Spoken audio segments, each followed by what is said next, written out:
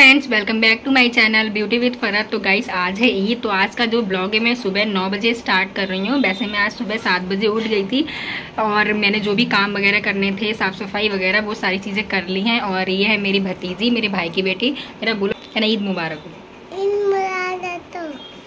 तो गाइज़ आप सभी लोगों को मेरी तरफ़ से और मेरी फैमिली की तरफ़ से बहुत बहुत ईद मुबारक हो और आप लोग अच्छे से इंजॉय करिएगा। मुझे कमेंट सेक्शन में बताएँ कि आज आपने ईद वाले दिन क्या क्या करा और अभी जो है मैं ऑलमोस्ट मेरा सारे काम हो चुके हैं तो बस मैं अब थोड़ा सा तैयार होंगी और ये देखो ये क्या कर रही है।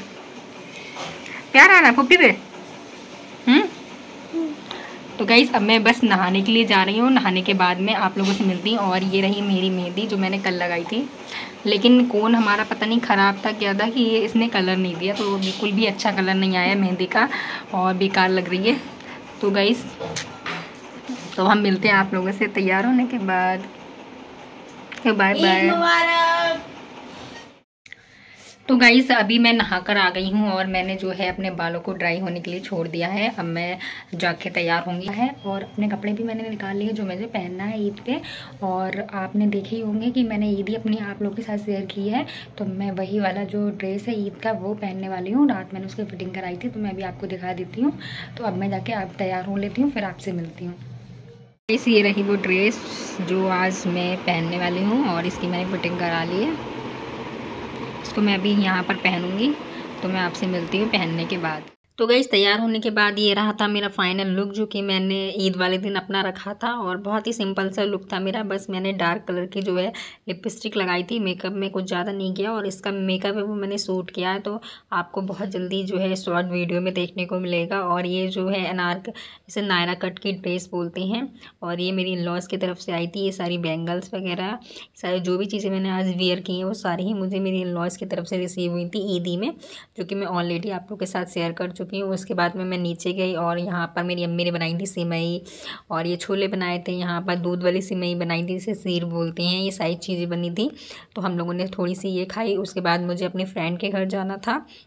तो गई मैं अपनी फ्रेंड के घर जो थी वो चली गई थी। यहाँ पर मैंने एक से दो घंटे मुझे अपनी फ्रेंड के घर पर रुकी थी तो मैंने वहाँ पर कोई भी वीडियो शूट नहीं की थी क्योंकि अच्छा नहीं लगता है किसी के घर जाओ इतने टाइम बाद। और जब मैं घर पे आई तो यहाँ पर मेरे जो थे रिलेटिव्स वो बैठे हुए थे और मेरी जो सिस्टर है, उनके फ्रेंड्स वगैरह, ये सारे लोग आए हुए थे। तो ये सारे लोग यहाँ पर खा रहे थे तो गाइज़ उसके बाद में हम लोग यहाँ पर रेडी हो गए हैं अपनी नानी घर जाने के लिए और ये दोनों मेरी सिस्टर हैं, ये भी मेरे साथ जाएँगी। तो आगे मैं बहुत ज़्यादा जो वीडियो है वो शूट नहीं कर पाई थी तो जो भी मैंने की है वो आप लोगों के साथ क्लिप्स मैं ऐड कर देती हूँ। और ये नानी घर पे जाने के बाद मेरा नानी का घर है, वो बरेली है, मेरे घर से बीस किलोमीटर दूर।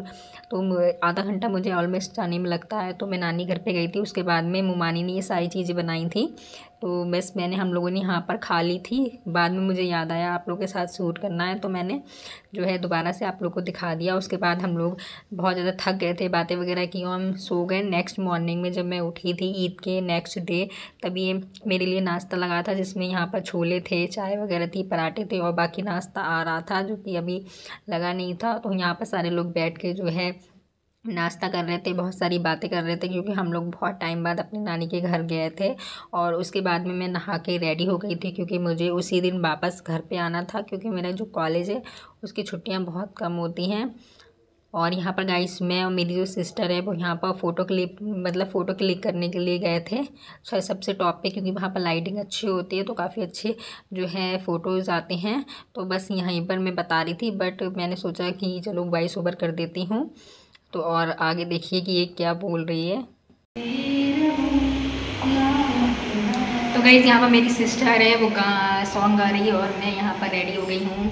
और ये रहा मेरा तेरे संग तो गई सीने से तेरे सर को लगा के सुनती रहूँ बस बस बस बस बस।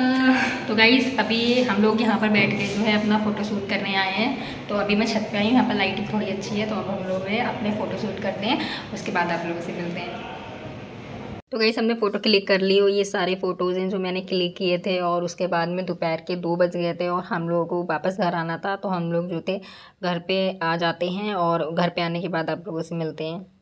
सो so फ्रेंड्स हम लोग घर पे आ गए हैं और अभी अम्मी ने जो है मेरे लिए ला के दी है चना चाट। अभी हम लोग ये खाएँगे। मतलब मैं ये खाऊँगी, मेरी सिस्टर ने खा ली है और मुझे आए अभी आधा घंटा हो गया है, हमने रेस्ट वगैरह कर लिया है। और अब वो जो है, आज का ईद का ब्लॉग मैं यहीं पर एंड करती हूँ। आई होप आपको अच्छा लगा होगा। अगर आपको अच्छा लगे तो इसे लाइक कर दीजिएगा। मेरे चैनल पर न्यू है तो मेरे चैनल को मेरे से सब्सक्राइब कर लें। तो मैं मिलती हूँ अपनी नेक्स्ट वीडियो में। तब तक के लिए अपना खूब सारा ध्यान रखें। बाय टेक केयर अल्लाह हाफिज़